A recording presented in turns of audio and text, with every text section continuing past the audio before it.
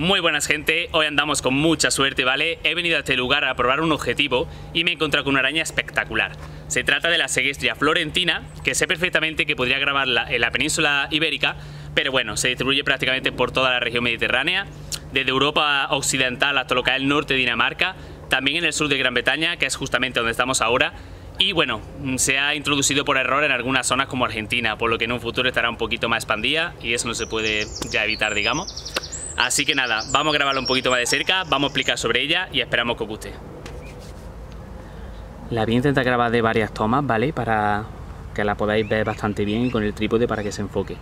Eh, habitan en zonas lo que son rocosas, en grietas de edificios, sótanos, eh, madera y bueno, son arañas de acecho. De hecho, su telaraña es una telaraña de embudo, ¿vale? Y lo que viene siendo los ladrillos, por ejemplo, para que os hagáis una idea, y lo que hacen es quedarse esperando, acechando a la presa y cuando la presa llega y toca lo que viene siendo su telaraña, salen, la agarran y para adentro o en su defecto, si están tranquilas, también se pueden parar a comérsela afuera y podemos observar cómo se la está comiendo tranquilamente, ¿vale? En los adultos suelen salir lo que viene siendo durante verano y otoño, por eso acabamos de encontrar esta preciosidad.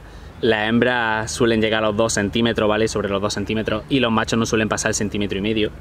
Su tonalidad es por lo general bastante negra cuanto más adultas son, con un poquito marrón, como podemos ver en las patitas traseras. Digamos que va como degradado de marrón a negro. Y bueno, una curiosidad fascinante que nos gusta muchísimo a todos es que los quelíceros tienen una tonalidad lo que viene siendo verde plateada, verde iridescente, ¿vale? Que es, bueno, se puede apreciar bien en los quelíceros ahí, una preciosidad y lo suelen tener por lo general todos los adultos. Macho y hembra son bastante complicados a veces de diferenciarlos. Hay veces que es obvio, pero otras no. Y bueno, por el tamaño sí lo solemos diferenciar bien. Y los jóvenes tienen el opistosoma lo que es grisáceo con manchitas. Eh, se parecen mucho a otra especie de, de este género, no me acuerdo ahora mismo del nombre. Y bueno, se pueden confundir cuando tienen menos tamaño. Eh, tiene seis ojos que creo que se pueden apreciar bastante bien y unos colmillos brutales que ahora, si me es posible, os lo voy a enseñar, ¿vale? Mirar, ahora se le puede apreciar perfectamente lo que viene siendo el verde, ¿vale? Tienen un carácter bastante agresivo, bastante feroz, como he comentado, pero eh, si no se les molesta son bastante tranquilas, no hacen daño. Eh, la madurez sexual, ¿vale? La alcanzan a los dos años y lo que es la hembra suele poner el saco de huevos dentro y se queda con los pequeños hasta que ya crecen y se piran. Si por algún momento la hembra muere, los hijos se la van a comer, puesto que son es una especie bastante caníbal, digamos.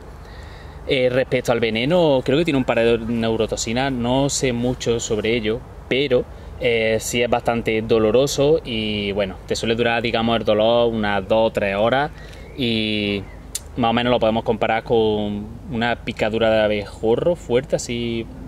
Sí, más o menos. Bueno, nos vamos a despedir ya. Que la veáis por última vez, vamos a dejar que se vaya tranquilita. Tiene que tener el nido por ahí cerquilla, ¿vale? Tendrá en algún agujerito o algo, la verdad es que no me he puesto a revisar.